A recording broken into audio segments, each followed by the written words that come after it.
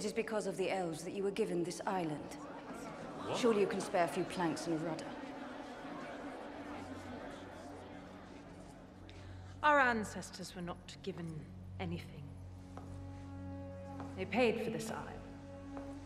With the blood of their kin. What the elf means. Then if blood be the price of passage, I will pay it. But one way or another, I will depart. I welcome you to try. I have no need of your welcome. And you are quickly wearing out yours. Between the two of us, I'm sort of the badass. You are? Uh, how, how do you figure? I don't know, Shirley. How did you figure I wasn't? I guess I didn't figure because I was too busy being the obvious badass. Sounds like we're both pretty convinced. I guess we'll find out who's right once we're on the job. Hmm, I guess we will. I'm sorry, what is going on here? A twist on a classic formula.